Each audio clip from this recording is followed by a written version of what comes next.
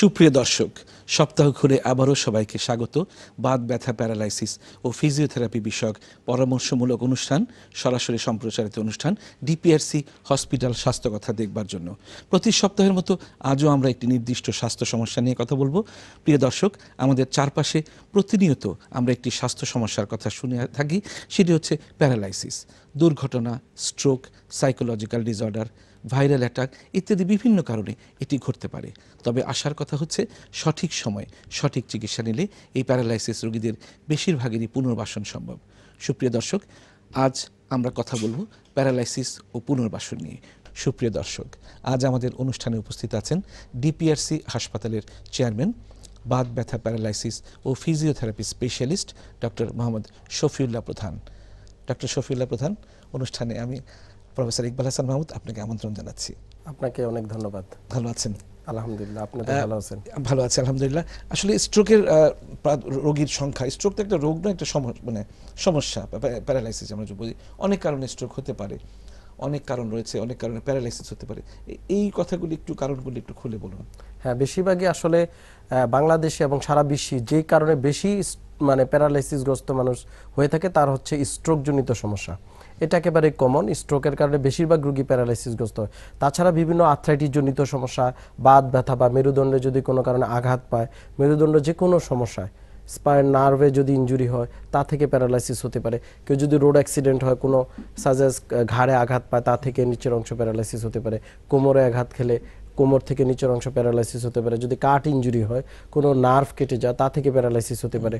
আর তাছাড়া বিভিন্ন infectious disease যেমন জিবিএস পোলিওমাইলাইটিস বা বিভিন্ন ভাইরাল ইনফেকশন এই সকল কারণে দেখা যায় মানুষ অবসাদগ্রস্ত বা প্যারালাইসিসগ্রস্ত হতে পারে।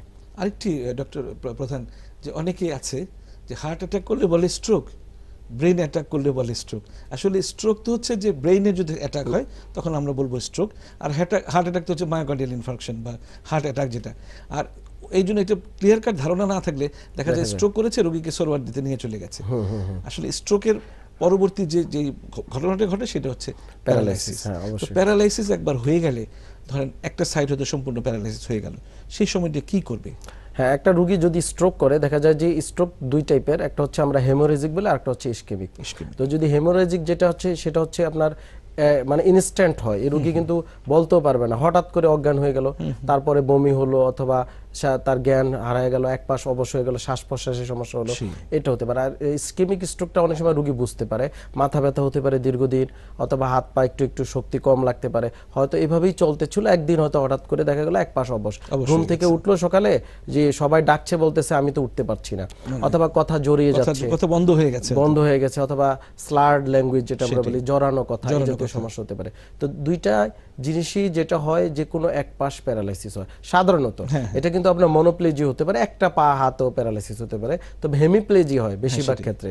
যেন রাইট হেমিস্ফিয়ারে যদি প্রবলেম হয় লেফট সাইড প্যারালাইসিস হয় লেফট হেমিস্ফিয়ারের সমস্যা হলে ডান পাশ মানে একটা সাইড পুরোটাই প্যারালাইসিস হয় তো এই স্ট্রোকের রুগীদের এই সমস্যাটাই সবচেয়ে বেশি হয়ে থাকে যে এক পাশ প্যারালাইসিস তো এই রুগীদেরকে আসলে যদি আমরা প্রথম দিন থেকেই এই রুগীদের চিকিৎসা দেওয়া যায় যেটা আমরা বলছি পুনর্বাসন।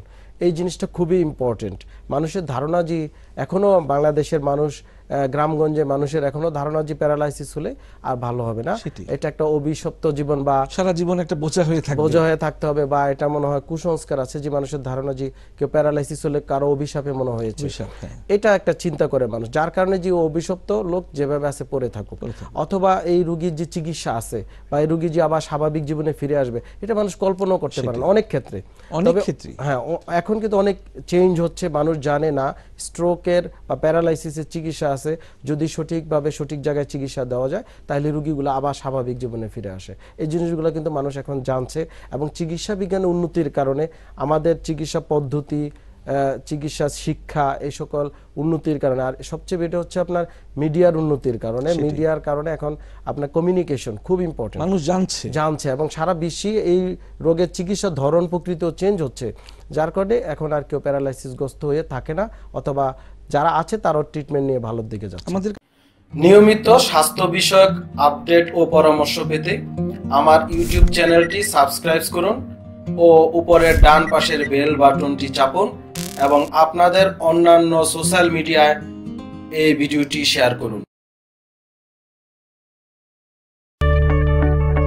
আমরা জানি আপনার প্রিয়জন আপনার জন্য কতটা গুরুত্ব বহন করে। প্রপার ডায়াগনোসিস কনসালটেশন পেইন ও প্যারালাইসিস চিকিৎসা, পুনর্বাসন আমাদের সব আয়োজনই সবসময় আপনাদের জন্য চব্বিশ ঘণ্টা খোলা। আমরা চাই না আপনারা বারবার আমাদের কাছে ফিরে আসুন, তবুও আমরা আছি সব সময় সর্বদা আপনাদের পাশেই। ডিপিআরসি হসপিটাল লিমিটেড, আস্থা, বিশ্বাস ও নির্ভরতায় অবিচল।